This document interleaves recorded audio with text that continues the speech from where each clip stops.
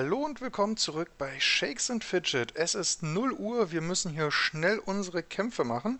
Ich warte nur noch darauf, dass der Timer umschlägt und wir damit anfangen können.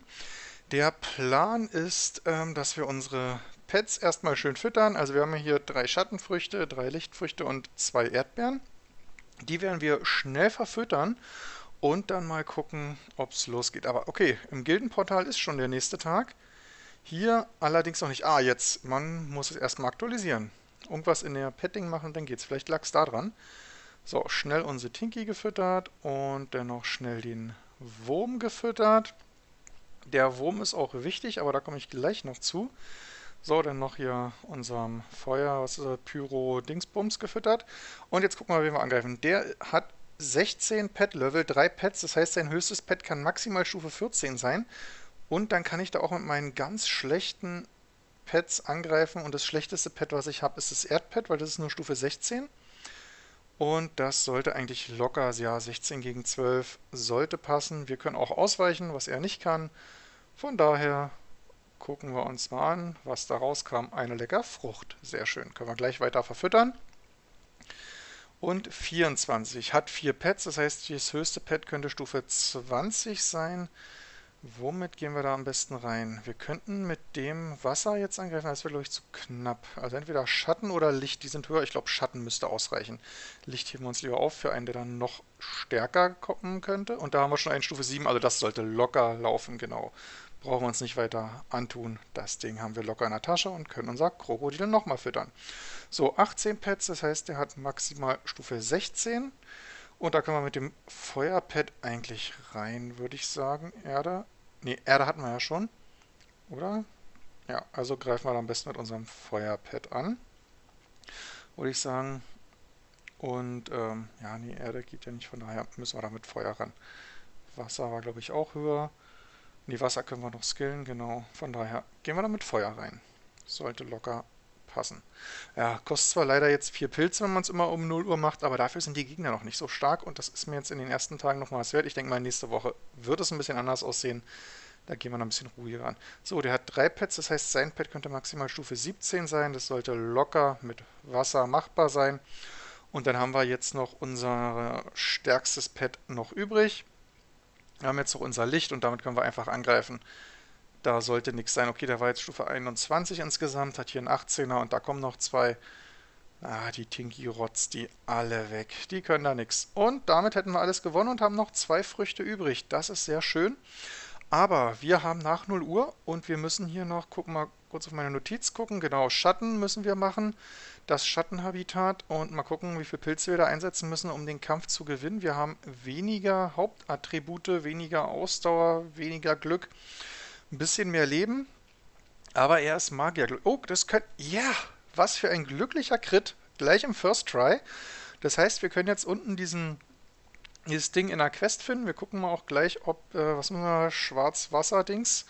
Gucken wir mal, ob das dabei ist. Nee, leider nicht. Na, dann queste ich jetzt mal noch ein Stündchen und hoffe, dass der kommt. Ich melde mich gleich wieder. Bis dann. Ähm, und ja, äh, nicht bis dann. Ich mache so, da bin ich auch wieder. Es hat sich seit soeben einiges getan. Hier im Video nicht, aber bei mir im richtigen Leben schon. Es sind ein paar Stündchen vor, vergangen und wir gucken gleich mal. Ui, die Quest gibt ja richtig schön XP. So, bei den Pets. Ähm, Schatten war ja wichtig. Also wie ihr seht, ich habe noch jede Menge Pflaumen gefunden. Irgendwie kommt es mir auch so vor, als würden dann immer die Früchte, die hier unten im PvP sind, auch vermehrt in Quests finden. Ist es bei euch auch so? Würde mich mal interessieren. So, ähm, wir hatten noch Glück. Ich glaube, so kurz vor halb eins hatte ich denn das Pad drin und konnte dann meine Stadtwache anschmeißen und ins Bett gehen, weil ich wollte ja auch noch ein Lichtpad finden. Und da habe ich auch noch ein paar Kämpfe. Ähm, wo haben wir die? Warte mal, ist das von heute? Ist das von gestern? Wieso habe ich... Hm, erstmal die Abenteuer. Genau, hier habe ich es. Da kann ich es euch nochmal beweisen. Da habe ich denn hier in dem Schwarzmoor-Dschungel gekämpft und das schöne Schattenei gefunden. Und dann hat mich auch noch einer angegriffen und wollte auch noch gucken, ob er bei mir da eine schöne Wasserfrucht kriegt. Mit einem 22er Krokodil gegen meine 21er Trixie, also ein verdammt, äh, Tinky, verdammt knapper Kampf. Da habe ich, also mein gut, ist mir egal, ich kann ja ruhig verlieren. Kostet mir nichts. Aber ich habe auch verloren.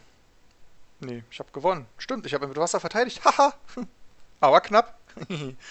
so, ja, ist auch sowieso egal. Ähm, ging ja eh nur darum, der hätte was kriegen können und ich nichts verlieren.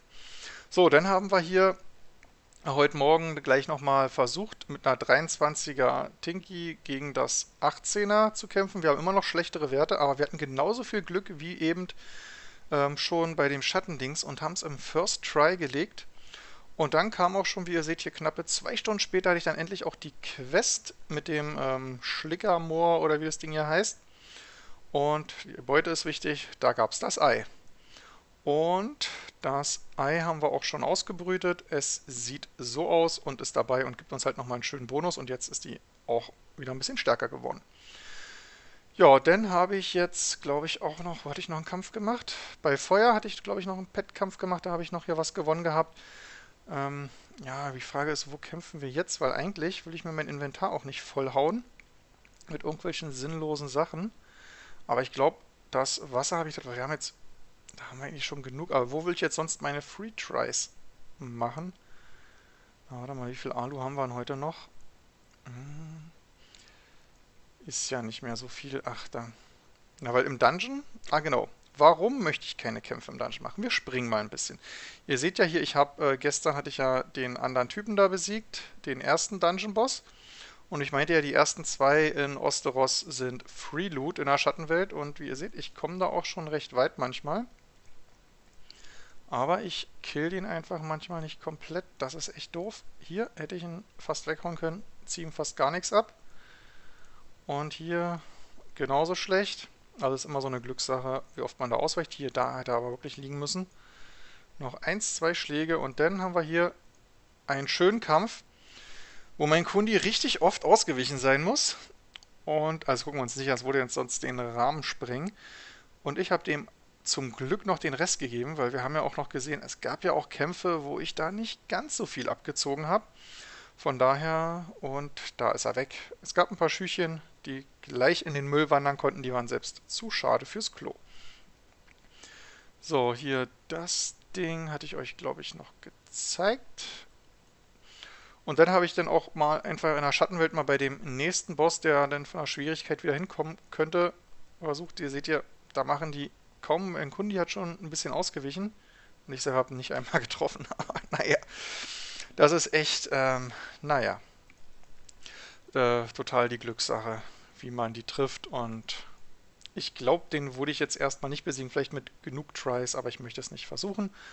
Und bei den Pets möchte ich jetzt, aber wir können es trotzdem machen, weil bei den Pets möchte ich nicht einen Try machen, weil da mülle ich mir sonst nur das Inventar voll.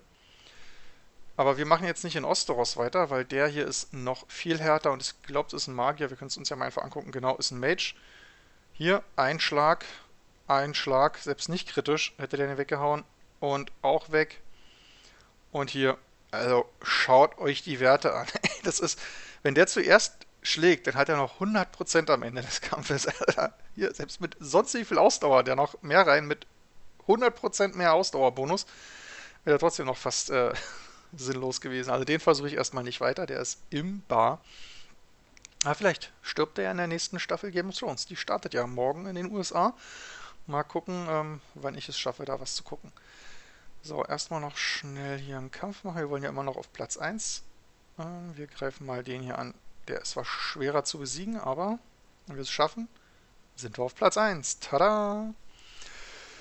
So, ähm, Pets, genau. Ich habe mal auch geguckt, morgen könnte ich, selbst wenn ich neue Pets besiegen könnte, von meiner Stärke her, würde ich nichts Neues freischalten können. Das nächste wäre erst Montag. Von daher muss ich mich jetzt erstmal hier nicht hetzen. Ich werde versuchen, die ganz gemütlich zu füttern und gut ist. Einer hat äh, unter meine Videos geschrieben, er hätte gerne mal, dass ich ihm erkläre, was hier oben für ein komischer Edelstein mit mir rumliegt. Das sind die schwarzen Edelsteine, die kamen ähm, Anfang des Jahres, wurden die implementiert und die geben plus alles auf, ähm, also die normalen geben ja immer hier plus ein Attribut, also entweder Stärke, Ausdauer, Glück und so weiter. Und das ist halt jetzt ein mittlerer, also nicht mal der gute, aber den hebe ich mir trotzdem auf für Epic Event morgen, weil morgen wird richtig fett geblättert. Da wollen wir hier mal schön uns neu ausstatten. Und wie ihr seht, ich habe hier auch ein paar reingesockelt und die geben halt wirklich auf alle fünf Attribute einen ordentlichen Wert. Der Wert, den die geben, ist halb so hoch wie von einem normalen Edelstein, der jetzt zum Beispiel nur Ausdauer oder Intelligenz oder sowas dazu gibt. Aber halt auf alle Attribute. Von daher finde ich die ehrlich gesagt besser. Also ich mache mir lieber die schwarzen rein, wie jetzt eine Ausdauer oder ein Geschick, weil ich halt gratis dazu noch das Glück kriege und halt die anderen Sekundärattribute, die ich noch für die Verteidigung mit reinnehmen kann. Von daher ist der eigentlich besser. Ähm, in bestimmten Situationen sind natürlich Geschicksteine, also die Hauptattributssteine besser, wenn man jetzt gegen jemanden kämpft, der die eigene Klasse hat und nicht vom Level her super hoch ist, dass man den sowieso schon mit 50% krittet, aber ich will auch nicht weiter auf Glück skillen. Da bin ich ja noch recht niedrig eigentlich mit dem Wert, aber das reicht trotzdem aus, um 50% Crit bis ähm, sonst wann zu haben. Das erstmal nur kurz dazu, da wurde ich halt gefragt. Deshalb ist das hiermit erklärt. Ja, ich spare mir hier auch die großen Edelsteine, aber ich glaube, da werde ich mal trotzdem welche sockeln, weil das Aufheben bringt mir da, glaube ich, nicht so viel. Wir gucken mal, was hier der schlechteste ist, den er hat. 468, äh, 482, ne, weiß echt hier? Ne, 86 war es. Äh, dann müssen wir den hier in dem Helm reinsetzen. So, dann geht hier gleich der Schaden ein bisschen hoch. Ja, 7000 mehr Schaden immerhin. Und dasselbe können wir auch noch bei unserem Magier machen. Was haben wir hier? Vier. Ah ja, stimmt, das ist nur ein kleiner. Stimmt, das Ding haben wir gestern ausgewechselt. Da muss ich gar nicht lange suchen. Da kann der Stein rein. So, und dann haben wir jetzt auch wieder ein bisschen Platz hier. Weil ich hebe mir noch einen kleinen Edelstein aus, auf, aus dem Grund, dass ich ähm, hier morgen das Ding ins Klo werfen kann, dann habe ich genau 1000 Aura und kann ziehen und deshalb blättern wir auch erst morgen und nicht heute zum Epic Event, weil morgen habe ich dann die Aura noch komplett und ähm, kann dann halt bessere Gegenstände finden und bis morgen schaffe ich auf jeden Fall auch noch ein Level up. Also da werde ich dann morgen ein bisschen questen. Ich habe ja heute auch noch ein bisschen was. Ähm, wenn vielleicht noch ein Pet-Habitat liegt, dann ist das Level auf jeden Fall sicher, aber ich glaube, das schaffe ich auch ganz normal, da ich ja jetzt den äh, Lannister Linkshänder da auch noch besiegt hatte.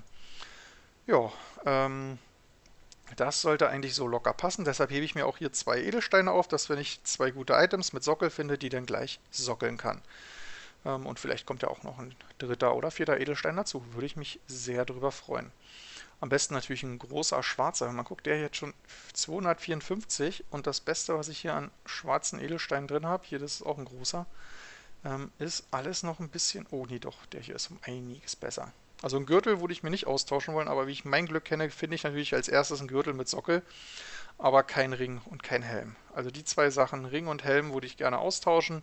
Der Rest ist nicht so wichtig. Waffe wäre natürlich immer schön, aber muss nicht unbedingt sein. Also, aber die zwei. Aber ist eigentlich auch egal. Also eigentlich muss ich auch gar nicht so viel beim Epic Event machen. Aber ein bisschen blättern wir mal, aber da besprechen wir das morgen dann in Ruhe weiter. Ähm, dann machen wir erstmal die zwei Sekunden noch, bis die Quest da ist. Und ein Gürtel. Ich glaube, den können wir heute auch in die Hex, bei der Hexe abgeben. Äh, ja, schöne Quest. Gucken wir gleich mal nach. Ich glaube, da waren heute Gürtel, genau. Und da haben wir 4 Millionen. Tada! So, denn Glücksrad, da wurde ich gestern gefragt, ähm, wie ich schneller ähm, die, äh, die Drehdinger überspringe. Das macht man hier mit Sequenz ausschalten. Aber ich möchte mich auch nochmal recht herzlich bei allen Leuten, die immer unter meinen Videos posten und diskutieren, bedanken. Also ihr helft euch ja da auch gegenseitig, ihr gebt da äh, gegenseitig immer schon Antworten, finde ich echt super toll von euch. Und ja, ich soll wohl gestern 15 Pilze gekriegt haben und mich nicht darüber gefreut haben. Ich freue mich halt mehr über Stein. Oh, 10 Millionen Gold, da freue ich mich auch drüber. Und dreimal und Stein haben wir für heute. Das soll erfüllt und können auch ein paar Mal drehen paar Stiefelchen und nochmal Stein. Sehr geil. Und eine Halskette und ein bisschen XP. So muss das laufen. Aber das können wir hier, glaube ich, gleich wieder verkaufen. Dann haben wir Platz im Inventar. Und noch Skillen. Ja, Steine. Das läuft richtig gut jetzt. Wir brauchen nur noch zweieinhalb Millionen. Wenn ich die nächsten drei Tage genauso gut drehe, dann kann ich dann, wenn das Ding fertig wird, gleich Festung 17 anwerfen. Und wenn Festung 17 läuft, dann ist mir alles egal, weil wenn mich dann einer plündert, ist es sowas von Wurst, weil ich kriege dann übers Glücksrad so viel Ressourcen rein. Ähm, das verdoppelt sich dann nochmal fast, dann müsste ich nicht 180.000 Stein, sondern glaube 200, zwischen 250 und 300 müssen es dann in etwa sein. Aber richtig, also 1000 richtig viel. Und da bin ich dann erstmal sicher. Und ich habe ja dann auch genug andere Sachen, die ich dann noch nachziehen kann im Bau. Auch Verteidigung. Kann ich meine Mauer auf 17 hochbauen und ich möchte nicht wissen, welches Level das ist. Das ist ähm, bestimmt dann unüberwindbar. Ja, ähm, Gildenportal gucken wir auch mal schon rein. Was wir hier an Schaden raushauen. Oh, da wird es heute nicht gut. Na okay, zweimal gekrittet. War dann doch gar nicht mal so schlecht. 14 Millionen. Oh, ganz knapp unter den Toli, aber hier oben die anderen. Na, Platz 2 von denen, die in den letzten 2-3 Stunden hier gekämpft haben. So, und Single-Portal haben wir auch. Das ist auf 83% hoch. Und da schauen wir auch gleich mal rein. Ähm, da fällt mir ein, vielleicht hätte ich doch noch einen Kampf machen können. Dann hätte ich mehr hier raushauen können. Aber wir haben die Prozente immerhin gehalten. Das war was. Wo könnte ich... Weil stimmt ja, wenn ich die... Ach nee, die Pets geben ja erst den Bonus, wenn ich sie frei, nicht freigeschaltet habe, sondern wenn ich sie hier auch mit Ei gefunden habe. Von daher bringt das Besiegen von ähm, dem Feuergegner oder dem Wassergegner nichts. Und Wasser ist ja sowieso Stärke und Stärkegegner habe ich zurzeit keine großartig. Aber ist ja sowieso egal, weil es nicht geht. Ja, morgen haben wir dann wieder Schatten. Da haben wir noch zwei und da kommt dann ordentlich was dazu. Von daher wird morgen mein Inventar so richtig voll sein. Ähm, das wird echt eng.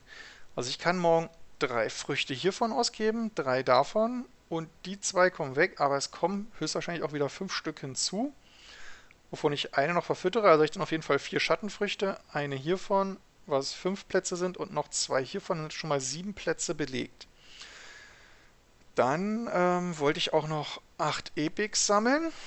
Ähm, 7 plus 8 heißt, mein Inventar ist so gut wie voll. Also von daher muss ich echt gucken, ob ich das mit den Epics mache oder lieber erstmal mir den Platz frei halte für die Früchte und darauf dann verzichte jetzt ähm, bis zum nächsten Epic-Event wieder die Aura voll zu kriegen ähm, im Klo, weil das würde ich ja schaffen, wenn ich 8 Epics reinwerfe und dann immer einen Edelstein. Aber da werde ich mir mal morgen drüber Gedanken machen. Erstmal gucken, ob überhaupt Epics kommen. Ich kenne ja mein Glück manchmal beim Blättern. Von daher, wer weiß, wer weiß. So, hier klicken wir jetzt schön mal das Video an und wechseln den Server. Da sind wir jetzt hier auf meinen ähm, Server mit der ganzen Level 1er. Da haben mich auch schon einige angegriffen. Äh, ups, hier. Und ich habe auch schon verloren. Zweimal. Ja. Von daher ähm, gibt es da schon eine gute Tendenz. Ui, neue Waffe. ja, knapp überlebt. Die Kämpfe können wir uns ja mal einfach mal angucken. So, wir gehen mal hier alle durch und wir schauen uns mal die Kämpfe an, wie die gelaufen sind. Okay, er hat gekrittet und ich habe ihn weggehauen. Ja, das ist immer hier eigentlich so, wer, gewinnt, äh, wer beginnt, gewinnt. Ui. Also ich hau ein bisschen mehr Schaden raus, aber er krittet. Na, okay, er hat aber auch viel mehr Leben. Nee. Da habe ich glasklar verloren. Ah, nee, okay, das ist der falsche. Da wollen wir hin. Oh man Wurstfinger hat, sollte man keine Computerspiele spielen. Wow! One-Hit. So, dann haben wir hier noch den Level 1er. Das sah schön aus. Und weg ist er. Ha. Tut mir leid, wenn ich mich da freue, aber ich gewinne halt gerne. Okay, dafür konnte ich hier absolut nichts machen. Das war echt bumm weg. Okay, hier scheint es schon... Na, auch... Oh, wenn du vielleicht zwei, drei Punkte mehr Ausdauer gehabt hättest, hättest du noch einen zweiten Schlag machen können. Also von daher bleib dran, Skill weiter. Es war knapp. Wir machen sowas bestimmt nochmal. Und... Ui, Tatsache. 6 HP überlebt. so, dann nochmal Level 1, diesmal ausgeschrieben.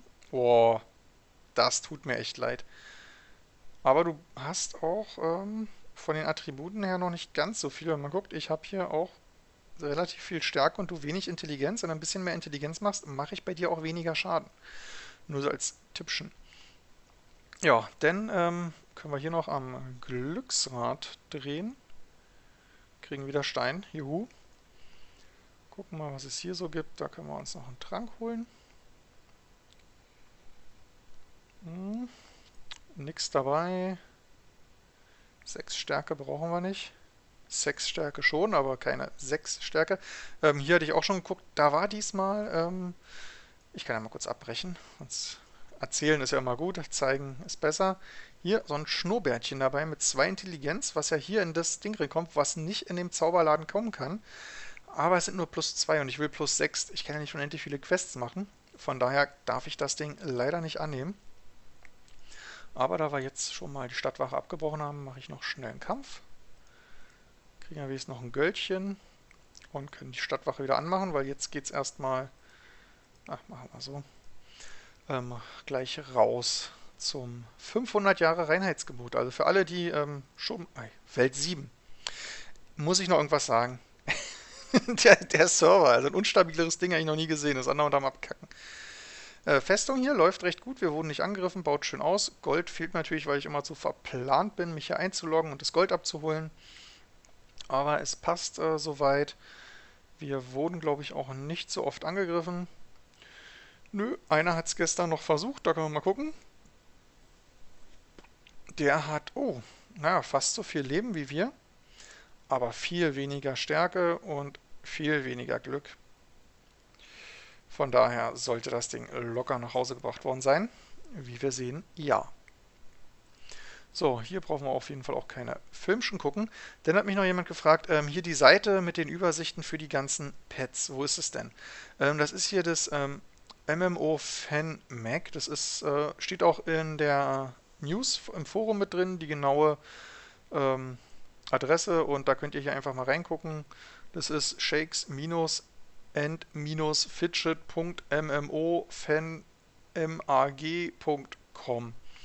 Und da könnt ihr dann weitergehen über den News hier Tipps zu den Pads. Und da stehen hier nochmal alle Sachen drin, auch mit den ganzen Uhrzeiten und den Jahreszeiten. Da kam ja gestern auch nochmal eine offizielle, ach, die wollte ich noch zeigen im Forum. Mal gucken, ob ich auf die Schnelle finde. Da hatte mir nicht der Cotti noch was Schönes gepostet. Ähm, Pets. Äh, wo war das? Ähm, ba, ba, ba. Ich so, wer sucht, der findet. Also hier nochmal eine kleine Erklärung zu den ganzen Sachen auf FanMac, weil ja da auch gefragt wurde, ähm, ja, was ist jetzt eigentlich so vormittags, weil die sind, das ist mit den Wochentagen gemeint, ist hier nochmal ganz ausführlich erklärt. Also Tag ist immer genau von 6 bis 18 Uhr, hatte ich schon mal gesagt. Nachts dann von 8 bis 6 Uhr. Geisterstunde ist von 0 Uhr bis 0.59 Uhr und es zählt immer der Zeitpunkt, wenn die Quest abgegeben wird. Das heißt, wenn ihr zum Beispiel diese Quest habt, so wie ich, wo man dieses ähm, Schattenpad, was man nur zur Geisterstunde finden kann, habt, dann könnt ihr auch, wenn ihr wollt, äh, die Quest so lange aufheben, dass ihr die abgebt oder abgeholt wird nach 0 Uhr. Würde sich natürlich bei Leuten anbieten, die jetzt nicht unbedingt 300 Alu spielen, sondern sagen, okay, ich habe jetzt meine 100 Alu durch und da sind jetzt nur noch, was weiß ich, 10 äh, Alu oder 5 Alu, die dadurch verloren gehen, aber ich kriege halt dieses scheiß Pad, weil ich will es jetzt am Wochenende haben und in einer Woche kann ich eh nicht bis zur Geisterstunde warten und eine ganze Woche warten wäre total doof. Dann könnte man sowas machen. Ähm, fand ich nochmal ganz schön, dass da nochmal so ein bisschen ausführlicher erklärt wurde. Die wird genommen. Das Ganze heißt hier äh, PET Zeitplan Voraussetzungen ein bisschen erläutert, dann nochmal genau zu welchen Monaten was gefunden wird, also welche Jahreszeiten da reinzählen. Äh, hier die Store werden halt, also in den, in den Läden wird es halt genauso gefunden, wie Dungeon-Schlüssel Sammelalbum, also für Gold. Sollte nicht für Pilze sein, wenn dann ist es ein Fehler. Freitag der 13. ist halt Freitag der 13. Neujahr und Silvester sind halt die zwei Tage. Valentinstag ist der 14.2., 1. April dann. Ostern ist ein bisschen anders. Da ist bereits von Karfreitag, also vom Freitag 0 Uhr bis Ostermontag 23.59 Uhr. Das zählt alles als Ostern. Pfingsten hingegen ist nur Pfingstsonntag gemeint und nicht Pfingstmontag, was ja auch ein Feiertag ist. Von daher, ähm, ja, müsst, solltet ihr da auch drauf achten.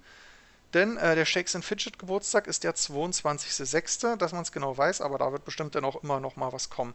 Was er auch geschrieben hat, er wird dann höchstwahrscheinlich immer noch mal in den News irgendwas reinschreiben, wenn bestimmte Pets zu Events oder so zu finden sind. Dass die Leute da nochmal Bescheid wissen und darüber informiert werden. Das werde ich dann natürlich auch nochmal extra machen.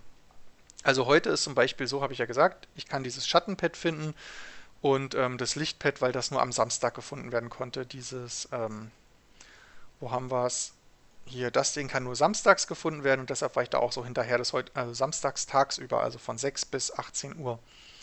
Und das habe ich dann auch gemacht. Dann nochmal hier ähm, Halloween ist der ganze Oktober, Weihnachten der ganze Dezember. Die ähm, XP Gold Events sind halt immer dann, wenn die Events aktiv sind. Mit der Toilette wird es so sein. Also genau weiß er es immer noch nicht. Er schreibt das bei den nächsten Themen auch immer, er vermutet es. Also ich gebe es erstmal so raus. Und ob es wirklich stimmt, erfahren wir dann, wenn es soweit ist. Das ist, also wenn ihr Aura 20 habt, kriegt, wird das Pad automatisch freigeschaltet. Das ist seine Vermutung und das ähm, sollte auch so sein, nicht, dass es dann durchs Klo kommt oder so. Genauso ist es dann auch, äh, wenn man das Portal beendet, den Turm beendet hat, den 14. Dungeon in Osteros in der Lichtwelt geschafft hat oder die Schattenwelt bemeistert hat, was natürlich höchstwahrscheinlich auch Osteros in der Schattenwelt sein wird. Ähm, Mine Stufe 20 ähm, sollte genauso sein, dass es dann freigeschaltet wird, wenn ihr eure Mine auf Stufe 20 habt, dann kriegt ihr das Ding automatisch. Denn in den Top-Spieler ist es so, dass es dann halt gefunden werden kann, wenn ihr diese ähm, Bedingung erfüllt, während die Quest abgeholt wird. Also genauso wie mit dem Ding zur Geisterstunde, es ist immer der Punkt wichtig, wann ihr die Quest beendet. Also wenn ihr zum Beispiel jetzt gerade da knapp an dem Rang sein solltet, weil ihr auf S1 spielt oder so, und ihr habt die Quest, wo das Pad droppen kann, macht die zu Ende und ähm, also holt, also ihr seht schon, dass eure Taverne jetzt hier so wie bei mir hier oben blinkt, aber ihr macht jetzt nicht so wie ich, geht darauf und holt es ab, sondern ihr wart, ihr macht dann erstmal, was weiß ich, ein bisschen Arena, so lange, bis ihr da oben in den Top 1000 seid, um das Pad dann gleich nach der Quest zu bekommen. Das wäre mein Tipp dafür. Denn ähm, Gilde und Festungsehrenhalle sowie Pet-Ehrenhalle ist ganz genauso. Und bei den Habitaten ist es so, sobald man die 20. Ebene geschafft hat, bekommt, wird es automatisch freigeschaltet. Also da bekommt man vielleicht trotzdem noch eine Frucht für das 20. Habitat und dann gibt's, ist das Pet automatisch da. Also die 20. Pets werden nicht wie die anderen 19 erstmal so ausgegraut angezeigt, so wie hier, sondern sind dann gleich da, wenn man das Ding besiegt hat. So einfach ist das, ja. Ähm, ich hoffe, das hat euch erstmal jetzt so ein bisschen informiert und geholfen, bevor ich hier wieder zweimal 30, 40 Minuten quatsche und außerdem ähm, bin ich so ein bisschen unterhopft und muss los. Ich wünsche euch noch einen wunderschönen Samstag, macht was draus äh, und morgen wird richtig heftig geblättert. Bis dann, tschüss.